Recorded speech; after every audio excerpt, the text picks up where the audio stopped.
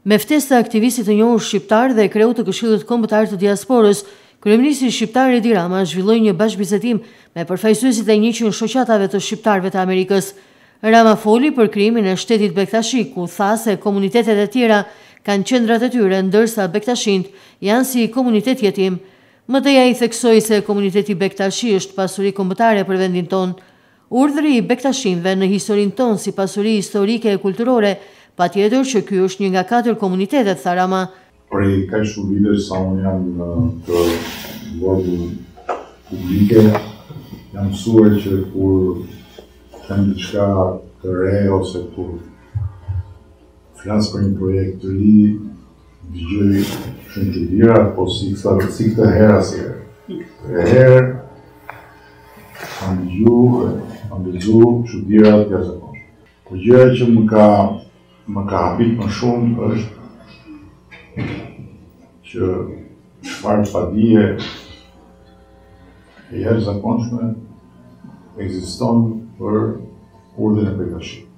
Unë shumë miqësisht do t'u sugjeroja të gjithëve që të të lexojnë dhe të informohen për urdhrin e Bektashive.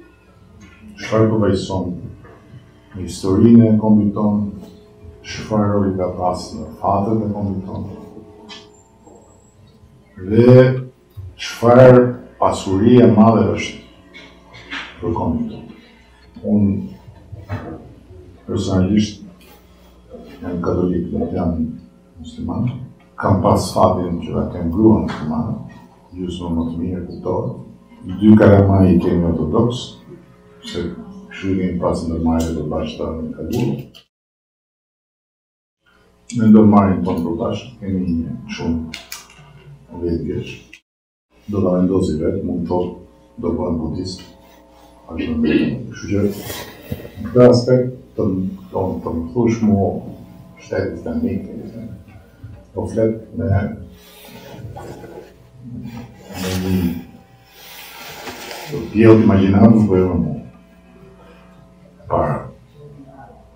E dyta, të rëndë kjo për çfarë